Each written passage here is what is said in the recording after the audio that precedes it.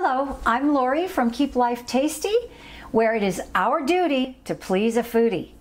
So today I'm going to try something new. I happen to eat a lot of tofu, and I thought it would be really fun to use our uh, shakshuka shaker to make um, um, like a mock shakshuka dish. Shakshuka is a, a, Middle Eastern dish and it's typically made with lots of tomatoes and a beautiful sauce and uh, garbanzo beans. And then what you do is you heat this sauce up in a pan and then you crack eggs in it and the eggs just simmer and cook in the sauce and it's really delicious. But uh, today I'm going to try it with tofu. So the ingredients I'm going to be using in this dish are the shakshuka shaker, uh, uh, some spinach. I've kind of ripped it up a little bit into pieces. Some firm tofu, about eight ounces of firm tofu, and I've chopped it up a little bit. I'm going to use our original garlic spread, and all of our products are plant-based, so that works out really well for me because I don't eat meat.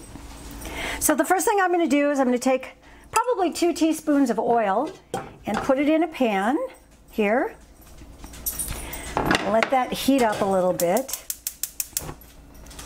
And I'll tell you a little bit about uh, what, let me tell you what the ingredients are because this blend together is so tasty and it's so good on everything.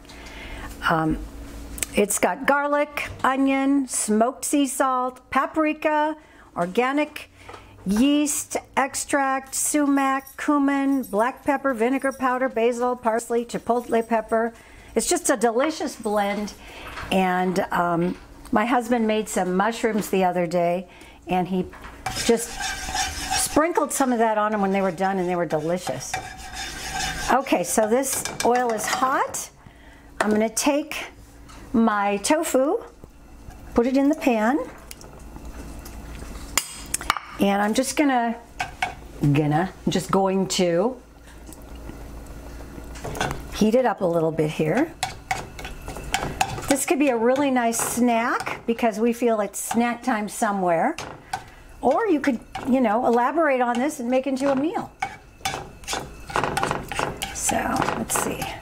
I'm to toss this around a little bit. Now, ideally, I would let this simmer for a while because I want it to get a little bit browned. I have a feeling it's going to take a little bit longer than I expected. After you see it starting to brown, take a just a I would take half a tablespoon of our garlic, the original spread garlic, and then just toss that around a little bit. Now, I think I said this before. Uh, this dish is typically made with garbanzo beans, which I love, but I don't happen to have any right now, so I'm not going to put any in. I want this to be something that you might have in the fridge and you could grab and just make kind of on a whim.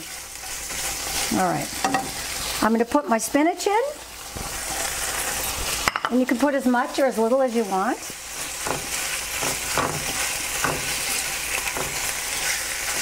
Okay, scramble that up a little.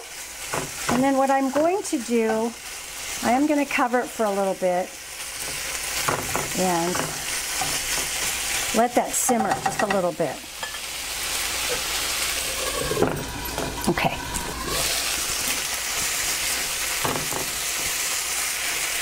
Mm, smells amazing, I'll tell you.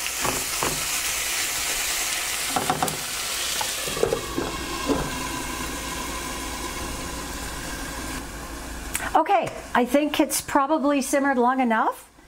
Take off the top here. Oh, smells so good. And what I'm going to do is, actually, I'm not going to do this right away. What I'm going to do is take this, slide it onto my pan, turn off the heat first, and then I'm going to take my shakshuka shaker and sprinkle it and of course just mix it up a little bit. Oh, I wish you could try this. It smells amazing.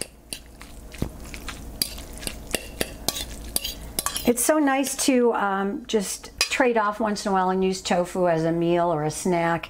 And this is just a really nice way to dress it up and make it delicious. So my dog is waiting for his taste right underneath me. He's been waiting the whole time. But I get to taste first. Mmm. So good. Oh, that's delicious. So I hope you might want to try this. And I want to invite you to come to our website and uh, always remember to keep life tasty.